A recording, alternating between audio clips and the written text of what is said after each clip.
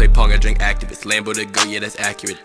What's good, YouTube? It's your boy, No Mercy Lambo from No Mercy Madden, and we better show y'all one-play touchdown out of one of the best running formations in the game, I form H slot. On defense, you can pick any zone coverage you want. It does not matter.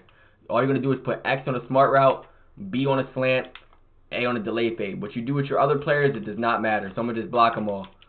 I'm gonna put a double team on the outside end, and I'm gonna just run to the outside, right? Boom, and you're just gonna throw it over the top to X touchdown. And that's going to work against all coverages, man. I hope y'all enjoyed this video. Don't forget to like, comment, subscribe, drop a notification bell. Peace.